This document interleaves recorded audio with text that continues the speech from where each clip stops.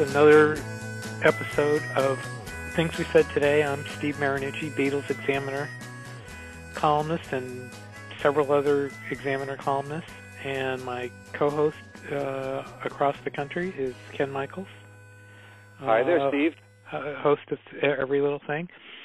And this is a little different. Um, we just kind of decided today, and this is Thursday, Thursday, um, the 29th, we would discuss, give our impressions of the new Paul McCartney single that that, that popped up on the internet at midnight Eastern time last night, which I thought was kind of interesting that they they did that. Uh, um, they actually had got it into uh, UK iTunes earlier. It was uh, in UK iTunes before it got to America, and they announced it. Uh, uh, I'm sure many of you got the email at midnight that it was out.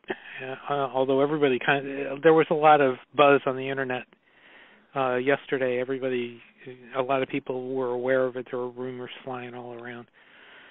But in any event, um, we wanted to talk about the song itself and w- what our first impressions were. Um, Ken, you want to go first? Well, first of all, we haven't even said the name of the song. Oh, well, actually, that's that's. Did we? Uh, did I say new song? Because that's the name of the song. It's new, which which is an interesting thing in itself, and we could probably debate that for a while. You know why he called it new, and why the album is called new. You know, my I was first. surprised. I was surprised at a title like that because it's so simple. Mhm. My you know my first thought was more along the lines of kisses on the bottom where he's he's trying to be a little humorous. And unfortunately, I can't. I have. I have to say, I did not hear. He was on the radio this morning, in both the UK and in um America, and I did not hear either one of those. But yeah, I mean, I was thinking this was more a little of Paul's humor to do that. But neither here nor there. Um, what did what did you think of the song? I think the song is a really strong song. You know, um, it's a song that after a few listens, it's stuck in your head. And um, in many ways, it reminds me of some of his more recent stuff.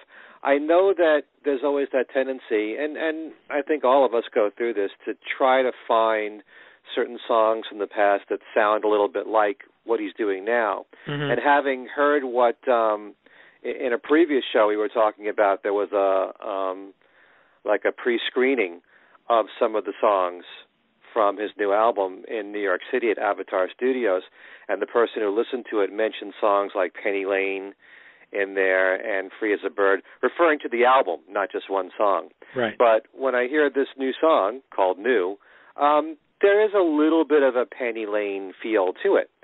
But I'm sometimes wondering if I think that way only because that's what this guy who was there at the at the party, at the listening party said.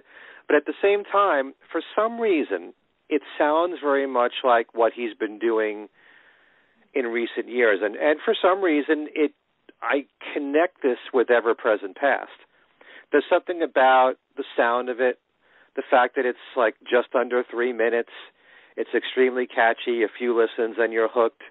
Um which you could say about a lot of McCartney songs too Right. but um just the sound of it overall and i like the sound of his voice i like the production i love the harmonies at the very end that he stuck on there i also kind of sense a little bit of a beach boys feel to the song Mhm. maybe if i was going to compare it because it's such an up tempo bouncy kind of a song you tend to think of um maybe good day sunshine something like that i Mhm. i know that when i looked on youtube some people wrote in thinking of got to get you into my life uh because of the lyrics because of the the uh the rhythm of the lyrics. You know i was alone i took a ride. Don't look at me. It's way too soon. You know kind of like that way.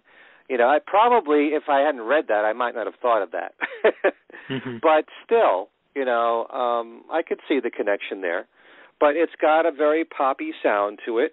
And i if anything it sort of reminds me more of ever present past which for some reason i know that i instantly loved ever present past when it first came out. Mhm. after a couple of listens i had to hear it every single day on my way to work. Mm-hmm. you know it was just so stuck in my head. The the the um the hooks in the song were just you know burned into my brain. And um it's very melodic. It's got a, a uh, you know a, a lot uh, it's got a 60s feel to it. I think a lot of people who have written it have have been expressing that that right. it does have more of a beatly sound to it. But i like it. I think it's a it's a strong song. Of course i can't compare it to the rest of the album right. yet. Yeah. Um yeah. I wouldn't be able to say it's the most like uh most um commercial? I, I I can't say that it's the perfect choice for for the single having Mm-hmm. not heard the rest of the the songs on the album. So right. but I do like it a lot. Okay, that's How about yeah, you? That's, that's interesting. I went on the. I, I had to to do some uh, a little. I had to go out on the road today for a, a thing I do every week, and I so I took the song.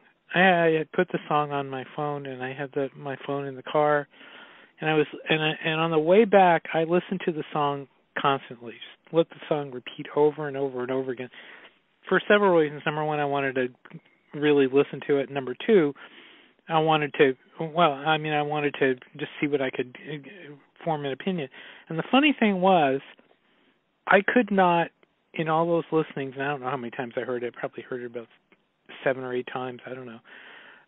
I could not hate this song. It's not a. It's a song that is not that you can't. That it's very hard to hate because it's very likable. And if you want to, if you want to equal that to commercial, go ahead. I did not try and compare it to any past songs, any past Beatles songs, any past McCartney songs. I just listened to it at face value. But when you said Good Day Sunshine, it kind of reminds me a little of that. But I really didn't do a lot of comparison shopping, you know, for it because I I really like the song as it is. I think it's a great song. I'm not sure I I think at one point somebody mentioned um god, now I'm uh uh Fine Line and I and, and I love Fine Line and I I didn't see the comparison exactly with Fine Line. You were you're absolutely right about his voice. His voice sounds absolutely incredible. Whatever they did to his voice is was superb. He sounds he sounds like he's he sounds like he's 40 on that on that song. That's I mean that's incredible. Um, well some people that that um I've noticed in comments on Facebook they do talk about his voice because uh, you know there are times when you know he does sound older you know but he still sounds strong at his age right. I Some of the like- some some of the audience recordings from the from the tour he sounded very old. Um really Yeah. Um but on this yeah, on the single he sounds fantastic. He he really does. I love the um the use of the falsetto that Mhm. he keeps using over and over again Mhm. And maybe when I hear that part where he's singing those high notes, it's it's reminding me of the Beach Boys a little bit. But um I try not to make a judgment so soon. We've only had a day to listen to this, and sometimes what tends to happen is a song gets stuck in your head. You can't get it out. You're listening to it constantly, and then you need some time to distance yourself from it. Mhm. Maybe it's a month, maybe it's a few months later. And then I think you can get a, a better analysis of what you think of the song. Yeah, Um, you know, making making quick judgments on songs on on things like this. I mean, I can remember back way back when, you know, listening hearing Beatles songs for the first time and not uh appreciating them. I mean, I remember it was funny um going back to Strawberry Fields Forever. I remember hearing it on a New York radio station and I even remember I believe for those of you that remember WABC in the good old days, I believe it was Dan Ingram who was playing Strawberry Fields Forever and and actually didn't like it and criticized the Beatles at the end of it, which is absolutely amazing. I, I you know I I can't remember for sure if it was Dan Ingram, but um Well, I, I'd certainly love to hear that comment. yeah, I would I would I wish I had I, I used to tape occasionally tape uh air checks and um I wish I had that one uh, in my in my collection now, I'll tell you. Um but you know, there I mean Beatles songs have always been have have always been things that people don't necessarily pick, didn't necessarily pick up on, especially later on in the later albums. Some there was a lot of there was an evolution of of uh, of opinion on on some of them, and um, but uh, and that's probably what's going to happen with this song. But uh, just right off the top, though, I have to say I was a lot more impressed with it than I expected to be. That said, it why, will. Why are you Why are you so impressed? Why am I so impressed? Because it sounds it sounds like it sounds like the Paul McCartney uh, that everyone expects. Uh, and I kept, you know, one and of the things I, I, I'm really, I'm really, I'm starting to resent your saying that. It's like going back to the show that we did a few a few programs back where you mentioned the Paul McCartney brand. Right. You know, and I don't I don't really like that terminology at all because to me Paul McCartney for someone who studied his entire body of work is musically all over the place. I don't right. expect him to sound like a Beatle. I don't expect the new record to sound like a Wings record. You know, I expect him to come out with whatever he's feeling like putting out at the moment. And that could be anything from a Band on the Run type album to a tug of war album where he's working with a lot of superstars to an album where he's playing all the instruments to an album with the fireman where he's you know experimenting a bit with youth which is um, which is know, interesting which is interesting because you with you mentioning that because one of the things I did was I put together a playlist on my phone of of new and electric arguments together.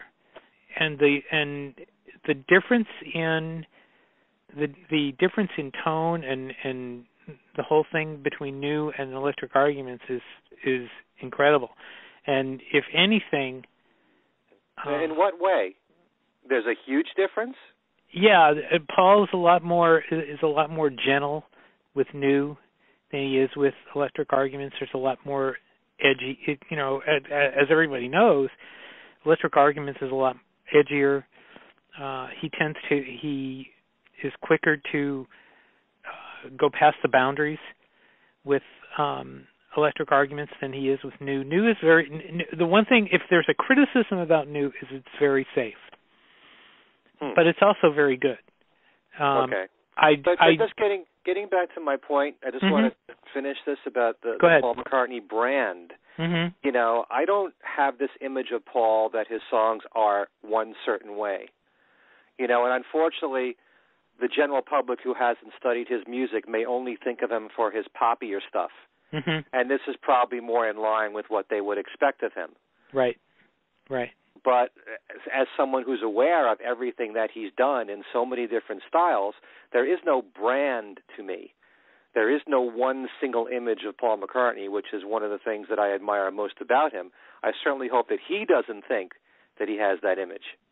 And uh, you know, and actually, while I was listening to all the stuff, I was thinking, man, would I love to ask him about that? And hopefully, oh, some, that, uh, you know, that his image. About well, no, about the about the Paul McCartney again using the term you don't like brand versus the fireman brand, and does there need to be do they need to be separated?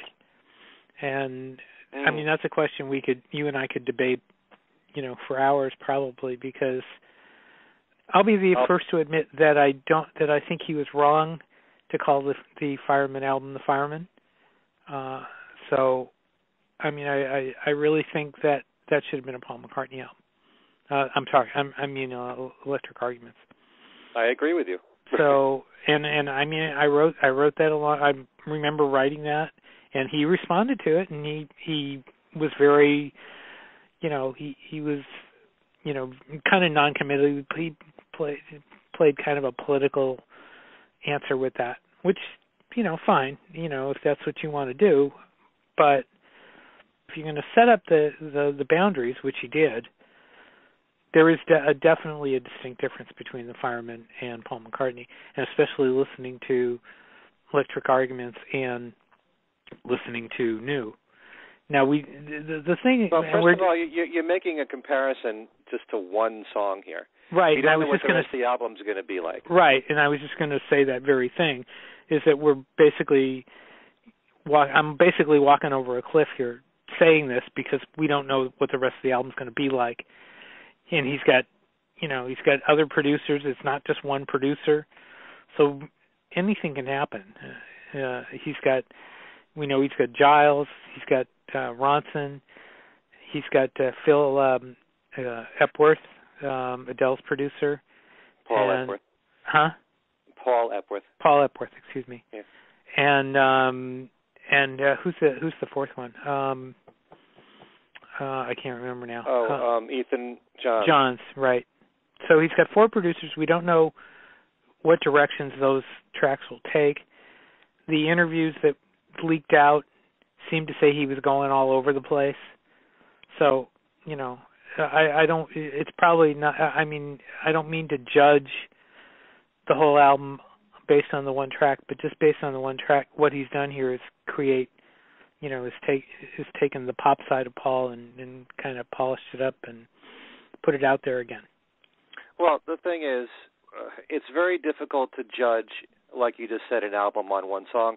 It's difficult to judge a song when you've only had a day to listen to it, even if you've listened to it a lot, because you don't know how you're going to feel about that song or an album months later or years later. Right. And in the case of one thing that I, I think is maybe a bit unusual about me is that everything that I've listened to in the past from when I was a kid till today that that I liked back then I still like to this day but it's just that I may not listen as frequently to that music as I once did.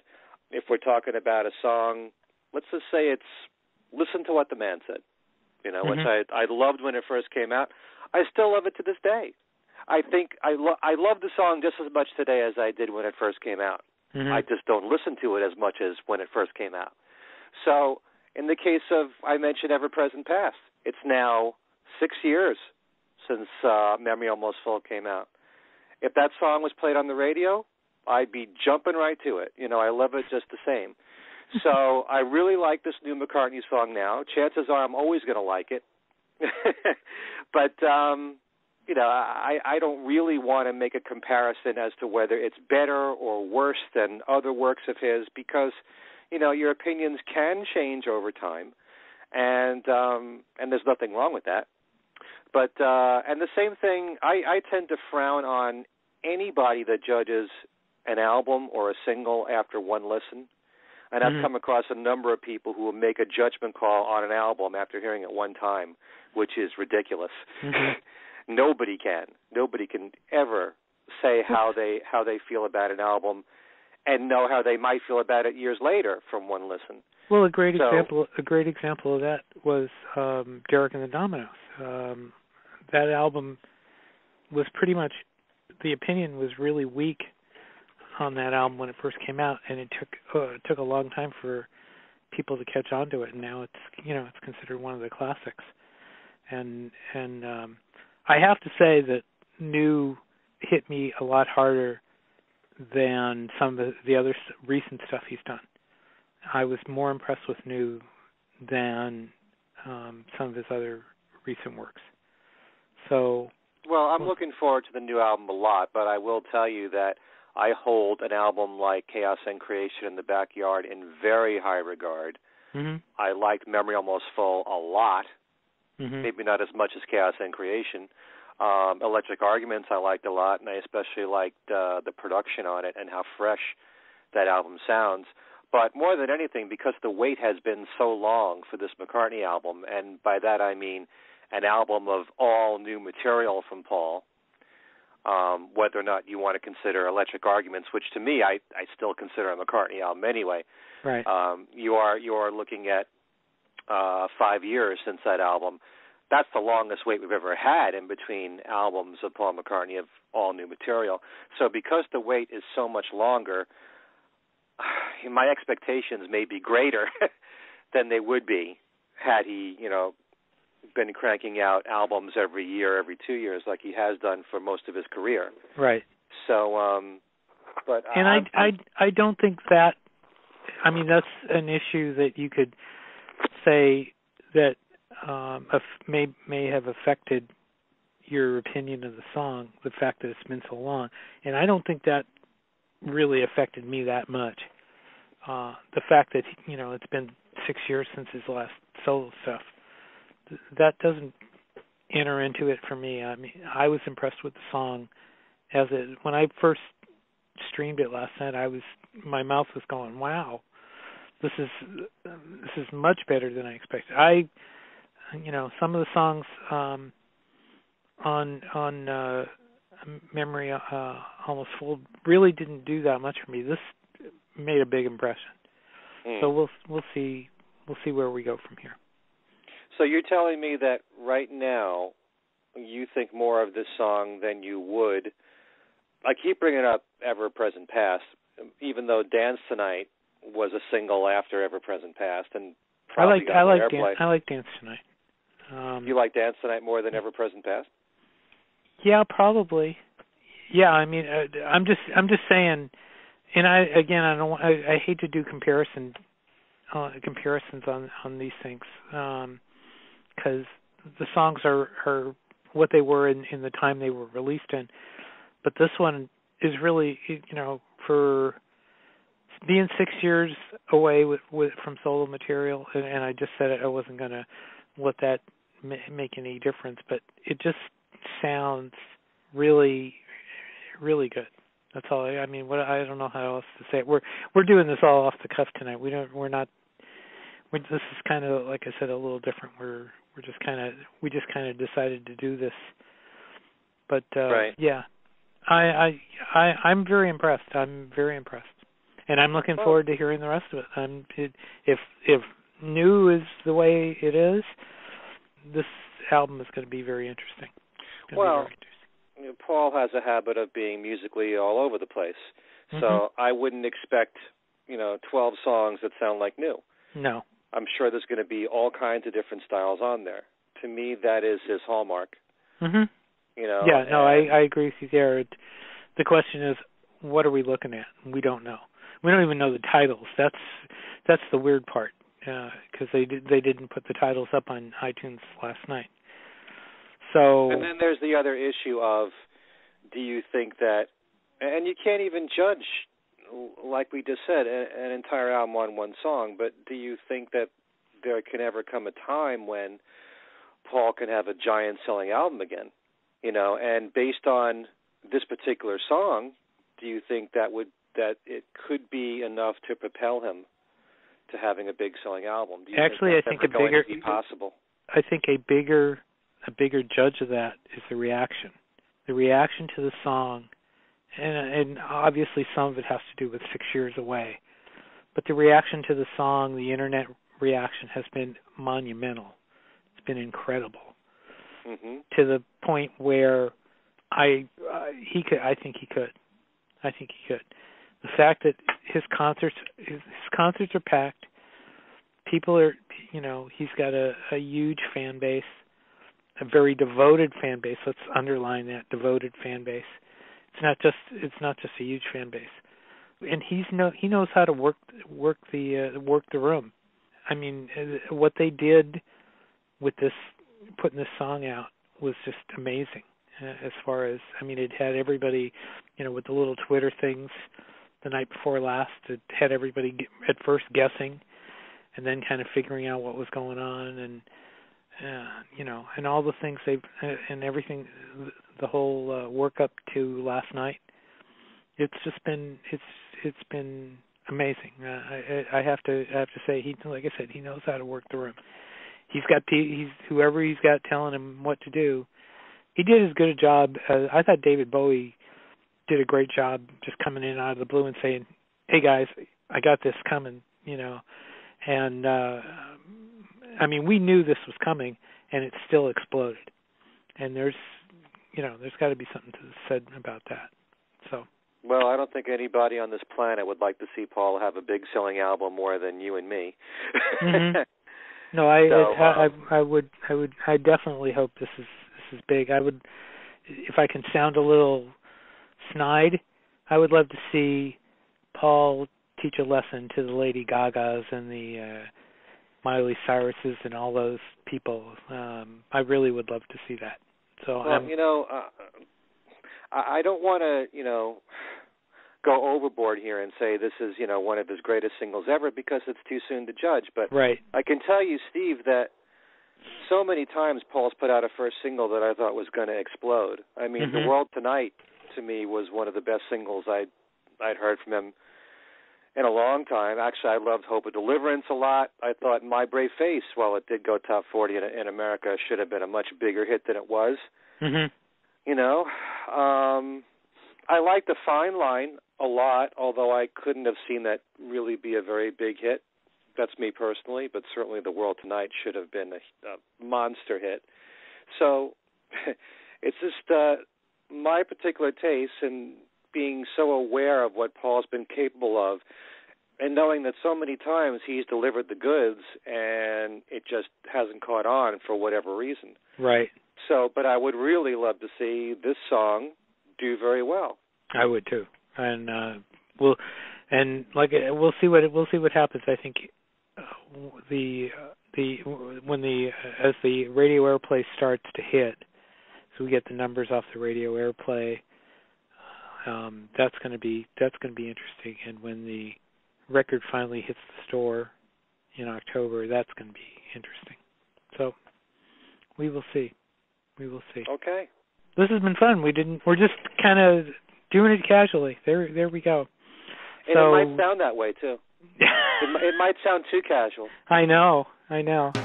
But anyway, thanks for joining us. Uh, this is Steve Marinucci, Beatles Examiner uh, columnist, for things we said today, and we will see you next time. Who knows when?